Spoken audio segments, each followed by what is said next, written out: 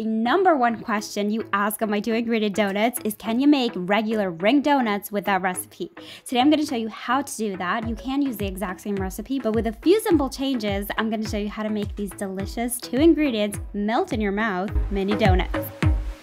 Okay, so we're going to make my two ingredient dough. If you've been part of our fam for a while now, you know how versatile this recipe is. It's self-rising flour and yogurt. That's it. Like always, I will write substitutes in the description box. If you don't have these two ingredients, you can still make these glazed donuts. We're going to mix these two ingredients together using a spatula, but you will eventually have to transfer this onto your work surface and bring the dough together with your hands. If you're new to my channel, welcome. Hello there. Make sure to subscribe and click that notification bell. I post new videos every week. You're going to mix this dough for a good minute or two. If it gets sticky, you can use a bench scraper. Now we're gonna let this dough rest for about 30 minutes. The reason we do this is because we need to make sure that all the flour is properly hydrated.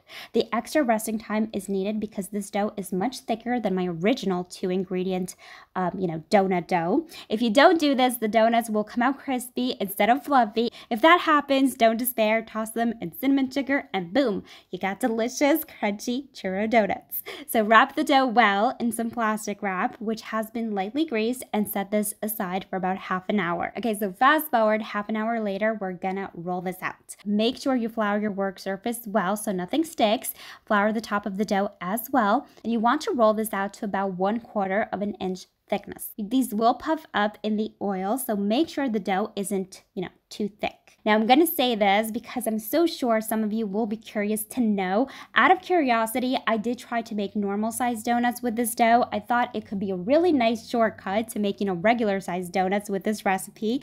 Bad idea, doesn't work. There's no shortcut. While you can get away with making, you know, tiny donuts with this recipe, it just doesn't scale up to regular sized donuts and the texture will be off.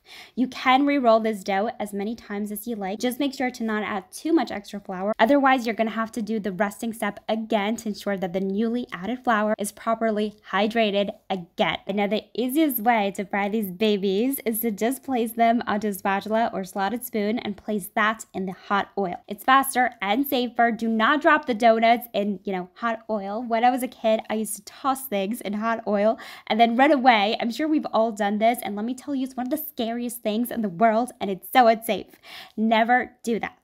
Place the spoon in the hot oil, hold it there, and you'll see within seconds the donuts will start to bubble and float to the top. Make sure your oil is at the right temperature, which should be around 160 degrees Celsius or 320 Fahrenheit. And you want to cook these until golden. Do not let these brown too much. Set aside on some paper towels and we're gonna make the glaze. It's just melted butter, powdered sugar, vanilla, and a little bit of milk. That's it. Depending on how thin or thick you like your glaze, you can add more or less milk.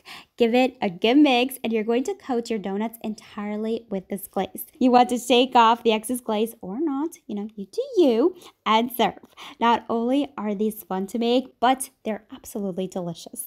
There's just something so satisfying about putting a handful of tiny donuts all at once in your mouth. It's just an amazing, delicious experience.